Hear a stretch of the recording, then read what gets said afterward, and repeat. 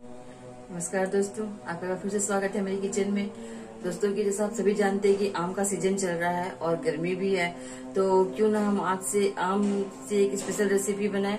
तो आज की हमारी रेसिपी है मैंगो मूज तो आपसे रिक्वेस्ट है कि आप इस रेसिपी को लास्ट ज़रूर देखिएगा, बहुत इंटरेस्टिंग रेसिपी है। और अगर आपको आज की मेरी रेसिपी पसंद आती है तो प्लीज़ मेरे चैनल को लाइक करें शेयर करें सब्सक्राइब करें। और बेल आइकन को प्रेस करना बिल्कुल न भूलें तो चलिए शुरू कर मैंने मैंगो मूज की रेसिपी दोस्तों मैंगो मूज बनाने के लिए सबसे पहले हमें उसे मैंगो का पल्प रेडी करना है। तो मैंने यहाँ पे दो आम का ये मैंगो का पल्प निकाला है। ये लगभग, डेढ़ कप के लगभग है। तो अब हम क्या करेंगे, इसे थोड़ा पकाएँगे। तो एक पैन में हम इसे डाल लेते हैं। देखिए, इसे मीडियम फ्लेम पे एक हल्का सा उबाल आने तक हम इसे लगातार चलाते हुए हम इसे पका लेते हैं। देखिए दोस्तों, जैसा आप देख सकते हैं, इसमें हल्का सा उबाल आने लगा है। तो अब हम इसमें मिलाएँगे ये चीनी। यहाँ पे मैंने आधे कटोरी चीनी लिया हुआ है। आप अपने स्वाद के अनुसार ले सकते हैं। और आप एक थोड़ा सा आम को पहले टेस्ट भी कर लीजिएगा, क्योंकि बहुत सा आम थोड़ा सा खट्टा भी होता है। तो उसके अकॉर्डिंग आप इसमें चीनी मिलाइएगा। तो इसे हम चीनी के मेल्ट होने तक हम इसे अब लगातार चलाते हुए पका लेते हैं। अच्छे से मेल्ट हो चुकी है और अब हम इसमें डालेंगे थोड़ा सा पानी। और मैंने उसी बर्तन में पानी लिया जिसमें मैंने प्यूरी डाल रखा हुआ था। तो इसमें हम आधे कप के लगभग पानी मिलाएँगे। और क्योंकि हम इसे आ, मतलब थोड़ा सा हम इसे अलग तरीके से बना रहे हैं। इसे हमें थोड़ा सा जेली जैसा बनाना है। तो अभी हम इसमें मिलाएँगे अगर अगर पाउडर। इसमें थोड़ा सा उबाल आने देते हैं फिर हम इसमें अगर अगर पाउडर मिलाएँगे। देखिए दोस्तों ये इसमें हल्का हल्का उबाल आ, आ रहा है तो अब हम इसमें मिलाएँगे अगर अगर पाउडर।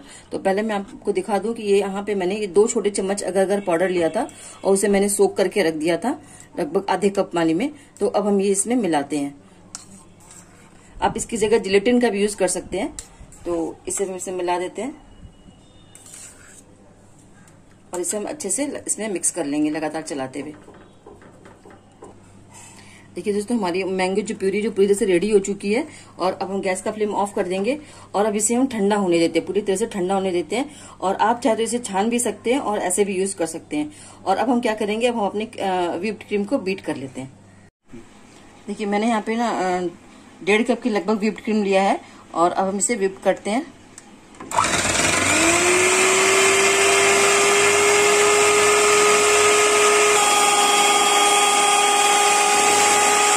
हो चुकी है। इसे मैंने सात से आठ मिनट तक बीट किया तो हम इसे निकाल लेते हैं इसमें से। देखिए दोस्तों, अब हम क्या करेंगे? इस क्रीम में अब हम मिलाएँगे थोड़ी सी चीनी, पीसी हुई चीनी। और अगर आप नहीं चाहते तो आप नहीं भी मिला सकते हैं पर थोड़ा सा मीठा अच्छा लगता है, इसीलिए हम इसे मिलाएँगे। लगभग दो से तीन चम्मच पीसी हुई चीनी। और हम इसे अच्छे से मिक्स कर लेते हैं। देखिए दोस्तों, इसमें मैंने चीनी को मिक्स कर लिया है। अब हम क्या करेंगे? जो हमने ये प्यूरी बनाई थी तो अगर आप चाहे तो इसमें से थोड़ी सी प्यूरी लेके इसमें मिक्स कर सकते हैं। और लेकिन मैं यहाँ पे क्या कर, मैं यहाँ पे इसे मैं, मुझे व्हाइट ही रखना है तो मैं इसमें मिलाऊँगी थोड़ा सा ये मैंगो एसेंस बस दो से तीन मुझे हमें इसमें मैंगो एसेंस मिलाना है।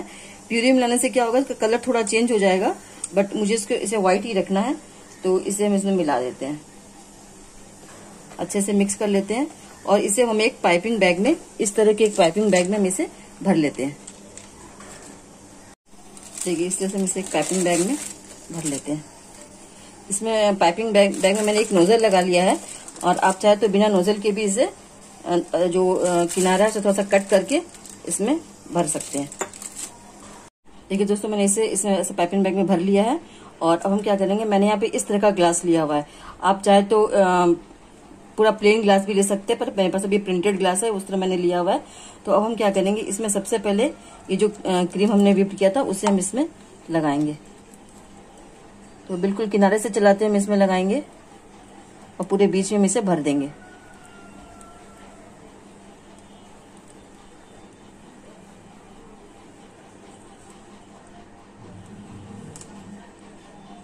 एक लेयर हमने इसका लगाया, और अब हम क्या करेंगे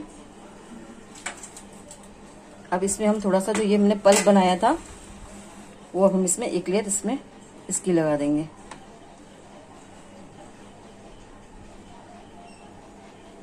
देखिए, मैंने यहाँ पे सेकंड लेयर मैंने इस पल्प का लगा दिया मैंगो पल्प का, और हम अब थर्ड लेयर इस क्रीम से लगाएँगे। जैसे हमने स्टार्टिंग में लगाया था, वैसे हम इसमें अब लेयर लगा देंगे।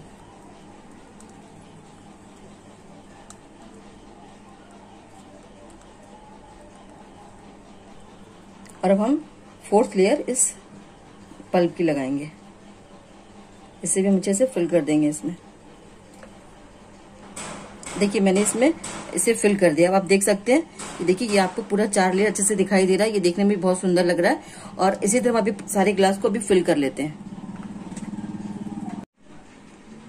देखिए दोस्तों, मैंने इसमें पूरा फिल कर दिया। आप देख सकते हैं आप ये चार लेयर देख सकते हैं। पहले मैंने क्रीम डाला, फिर मैंने पल्प डाला, फिर क्रीम डाला, फिर पल्प डाला। और अब आप क्या कर सकते हैं, इसके ऊपर आप चाहे तो इसके ऊपर चेरी से भी डेकोरेशन कर सकते हैं, इसके ऊपर डाल सकते हैं या फिर मैंगो के छोटे छोटे टुकड़े भी इस पर आप डाल सकते हैं। और अब हम क्या करेंगे, इन चारों को सेट होने के लिए आधे घंटे के लिए फ्रिज में रख देते हैं। फिर हम इसे निकाल के सर्व करेंगे। देखिए दोस्तों, मैंने इसे आधे घंटे के बाद फ्रिज से निकाल लिया है। और ये पूरी तरह से सेट हो चुका है जिसमें मैंने इसमें अगर अगर पाउडर डाला था, इसकी जगह आप जिलेटिन का भी यूज़ कर सकते हैं। उसकी वजह से आप देख सकते हैं कि इसकी जेली जो है बिल्कुल जेली जैसा सेट हो चुका है और ये खाने में भी बहुत टेस्टी है। तो दोस्तों, अगर आपको आज की मेरी रेसिपी पसंद आती है तो प्लीज़ मेरे चैनल को लाइक करें शेयर करें सब्सक्राइब करें और बेल आइकन को प्रेस करना बिल्कुल ना भूले। और आशा करती हूँ कि रेसिपी आपको ज़रूर पसंद आएगी। ये बहुत ही आसान है बनाने में। तो दोस्तों, आज के लिए बस इतना ही।